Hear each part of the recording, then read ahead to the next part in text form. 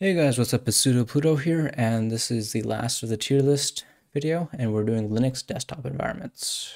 And so Budgie, yeah, it's, it's pretty okay, I guess. Um, it, it feels like a weird mix of like um, cinnamon and like uh, mate, so it and it is a pretty small like desktop environment. It, it matters less than being like a small distro, um, because it's just a desktop environment, but still it's it's weird when bugs aren't aren't like ironed out early on. And I don't know what's future concerning Wayland, so it is fun when I used um, Solus, but I, I, it's okay, I guess. Never heard of this, so I'm not gonna rank it. Deepin, um, my eyes are bleeding. It's just a weird, weird distro. Uh, I don't know what this is. I don't know if it's Enlightenment or something else. Um, I'll wait till that. I think this is Enlightenment. I think it's like free BSD something. I have no idea what this logo is. LXQT. No, LXDE. My arms are bleeding. It's terrible. like, I don't know why I'd use LXDE over XFCE if you had the choice, if I'm being honest. Um, the, the, the application applications included with uh, XFCE are just better than the ones that are included with LXDE by a long shot. Like, come on. I, I don't know who uses this. LXQT, haven't used it. Mate, um, it's pretty good, to be honest. Um, actually, no, it's okay with, I guess. Um, it's, it's like more of like a, I don't really know where it fits in, especially now that XFCE is getting like a GTK 3 um, port it's it's it's pretty much like in the same boat and I would just use them interchangeably. So I'll just put that here too. Um, KDE Plasma, I would I would recommend that to a friend. Um, like it was my daily driver for a while. Um, but uh, honestly, there's like not a lot of good distros that support KDE Plasma, and so by switching distros to something like Fedora, right?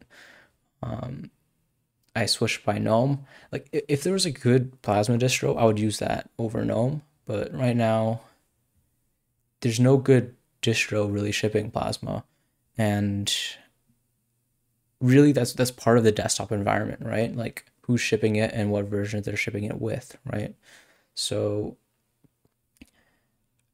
like like what like the three best like distros shipping um, Plasma are like OpenSUSE, um, Kubuntu, and KDE Neon, and all three of them have their like own issues. You know, um, like all of them have their quirks. So there's no like like canonical or like um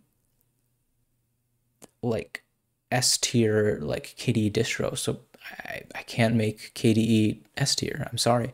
I like the project. I like the applications. Um, I think it's just held by back by like nobody really distributing it well. I mean, Arch is there, but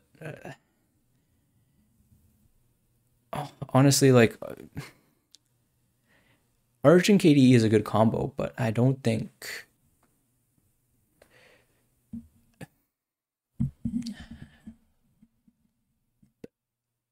the reason why KDE is good on Arch is not of a merit of KDE itself.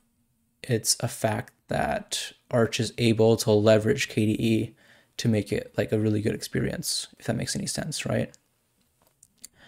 Um, GNOME, Daily Driver, is gone pretty good, um, especially with the later versions. Memory leak issues are solved, stuttering is solved, it's leading the way in Wayland. GNOME 40 is interesting, but at least they're they're innovating. Um, I think this is the KDE 4 or KDE 3 backport. I would never use this, that's true. I think this is like the Sugar Live USB desktop environment. I would never use this. It's, it's honestly a meme. Um, LXQT, um, not gonna rank it. I have no idea what this is.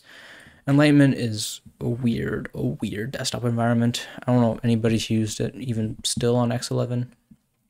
I have no idea what this is, so I'll just make it like awesome window manager, uh, i3 or um, Sway.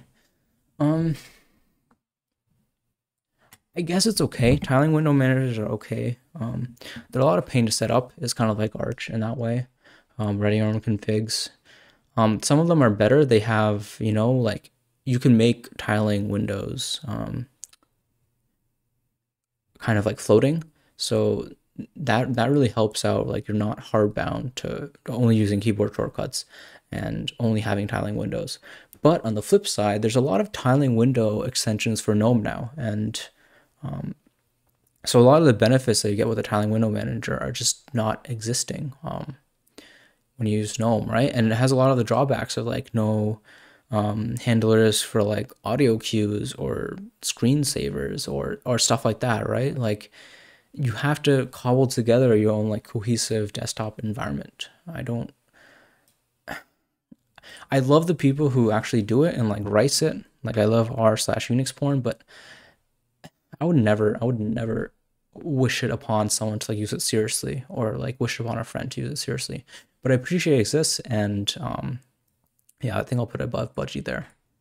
Um, yeah, and then these, I have no idea what they are. So that is my ranking of desktop environments. Um, probably made people angry since GNOME is very easily hated on, and a lot of these are very much loved, like tiling window managers and XFCE and stuff like that. But hopefully it's entertainment, and hopefully, hopefully it was a little bit enlightening. Um, you could see why I have some justification for these things, and it'll help you reason about it. And yeah, I finally thought of my next video, and it's how I record these videos on um, Linux, which is going to be interesting because I'm using just a standard laptop, but I'm doing it with like hardware acceleration. And so I thought I would share my settings for OBS in the next video. Anyways, see you guys later. Sudo Pluto out.